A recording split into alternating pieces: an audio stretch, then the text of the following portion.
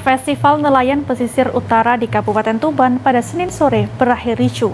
Dua kelompok pemuda yang sedang berjoget terlibat baku hantam dan saling kejar. Akibatnya sejumlah penonton terluka dan seorang pemuda yang diduga provokator diamankan petugas keamanan.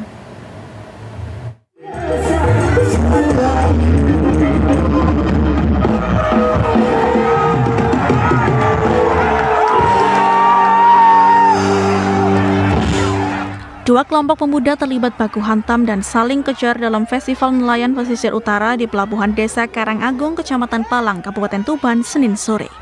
Minimnya personel keamanan membuat kericuan meluas hingga menyebabkan gerobak pedagang bakso terguling.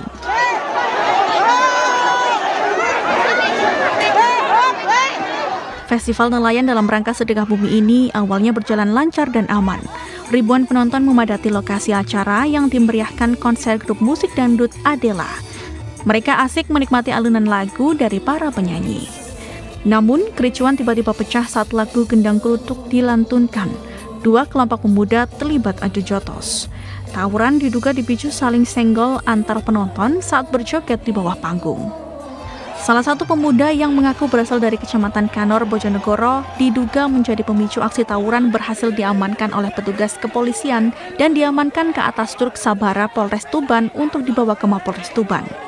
Usai keributan, konser terpaksa dihentikan. Dalam peristiwa ini, sejumlah penonton dilaporkan mengalami luka-luka. Diamankan kenapa ini, Dan? Ya, menurut panitia, orang ini diduga sebagai pemicu kerusuhan ya. Ya. dari luar ya. Ini berarti pas acara apa ini?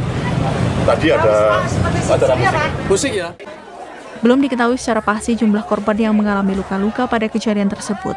Polisi masih mengumpulkan data-data dan berkoordinasi dengan panitia penyelenggara. Sigi Muhammad, Husni Mubarok, CTV.